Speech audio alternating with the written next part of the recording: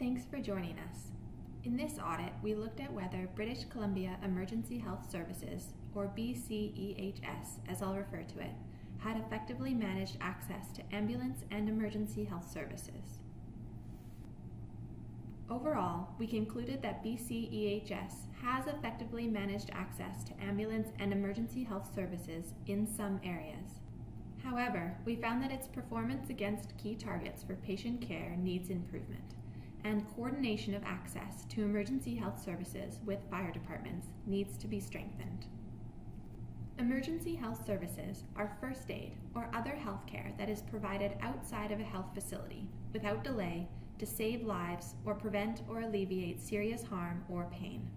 These services are often someone's first point of contact with the healthcare system in an emergency situation BCEHS responds to medical emergencies across the province.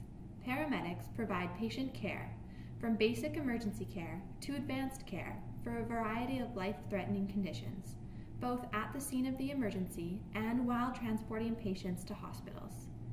BCEHS's goal is to ensure that in every community, patients receive timely and appropriate access to emergency care when required.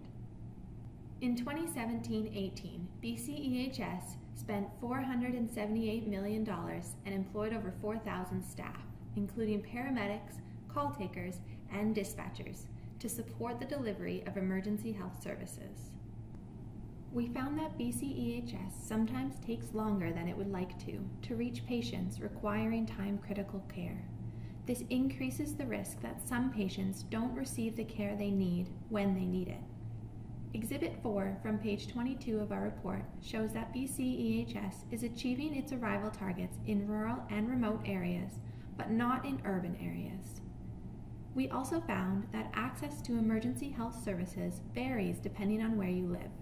For example, advanced care paramedics primarily work in urban centers where call volumes are high. There are no advanced care paramedics stationed in rural and remote communities. Evaluating its advanced care coverage across the province would help BCEHS to determine whether it's sufficiently meeting patient needs.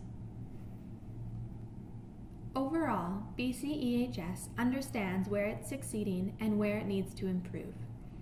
It's in the midst of a transformational change of its services to better match its resources to patient needs. This includes an increase in the number of paramedics and ambulances, as well as the introduction of a new dispatch approach with the goal of shortening response times for patients who need care the most. BCEHS is also pursuing alternatives to traditional emergency response for patients who don't require transport to a hospital. This includes options such as providing medical advice over the phone, transporting patients to a health clinic, or having a paramedic provide treatment in the home or community. Fire department first responders play an essential role in supporting BCEHS to provide the quickest possible response to patients requiring time critical care. We found that BCEHS's collaboration with fire departments had not resulted in a coordinated approach to emergency health services across the province. Improved coordination with fire departments would support consistent application of medical standards, information sharing, and improvements to patient care. That said, there are several challenges to improving coordination.